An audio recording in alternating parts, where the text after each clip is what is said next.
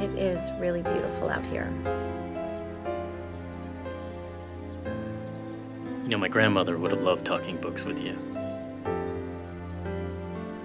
It was her passion. That and entertaining. You know, she started volunteering at the library when she was 14. That's how my grandparents met. If you had heard my grandfather tell the story, he said that she was stacking books in the world history aisle when he first saw her.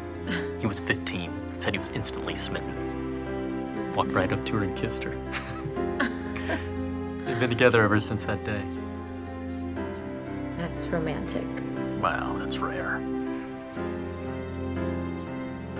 So is your library. Do you know how much time and love it takes to create a collection like that? That's just stuff. Can't take it with you. But all of your history is here.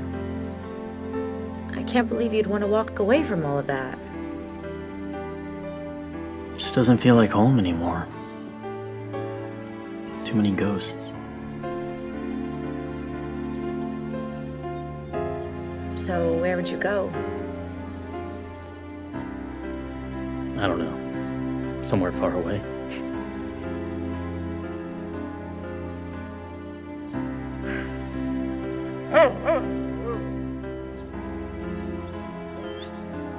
Forgot to feed Beast. wow, we've been out here for hours. How did that happen?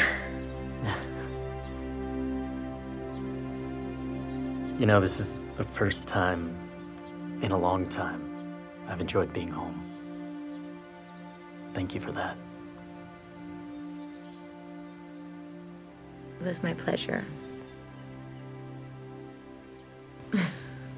Shall we?